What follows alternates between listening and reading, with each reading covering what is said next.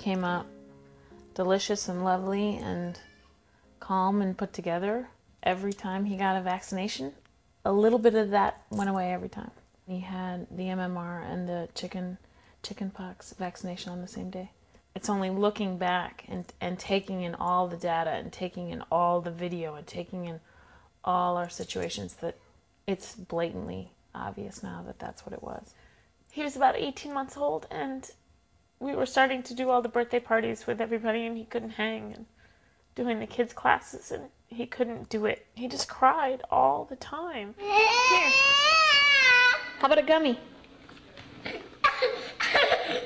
And my husband looked at me and he said, There's absolutely no joy in his life. And there was none. Give the baby a kiss.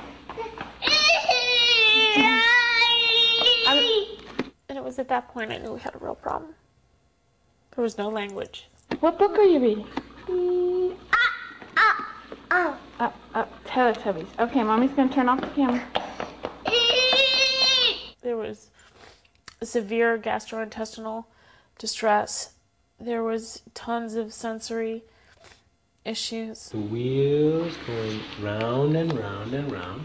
You said plow. Plow. Plow. In retrospect, I feel like he- he was poisoned. I look at him and I, I see a sick, ill child.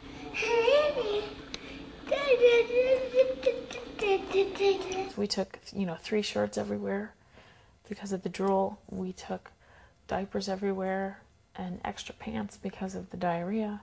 At my first DAN conference, we were already seeing some success. So it was just liberating. It felt like hanging with my peeps. Yeah. it, was, it was good. And I think my second Dan conference Baxter went to as a recovered kid. And I said, We really want to thank Dr. Rimland too. And he said, I said, maybe when we're done, we'll write him a letter. And he said, I want to write him a letter right now. You have a little letter here. What does this say?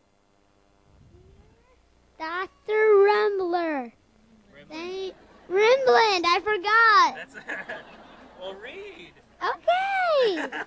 Thank you for helping me and all of the other kids get better. I love you.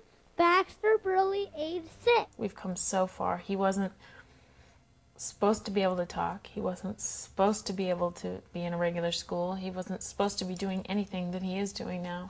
Teacher Baxter's talking.